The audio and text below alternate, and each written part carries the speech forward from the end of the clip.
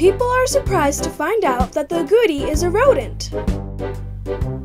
It sits like a rabbit and it's so big. Agoutis are active in the day and feed mostly on fruits and seeds. They often bury seeds with the hope they can find them later on when food may be hard to find. Now, rodents don't have too much brain power, so the location of many seeds is forgotten.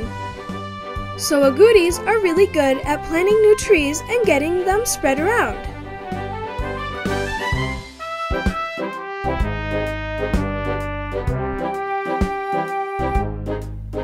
If you really scare an agouti, it runs off and the hairs on its back rise up.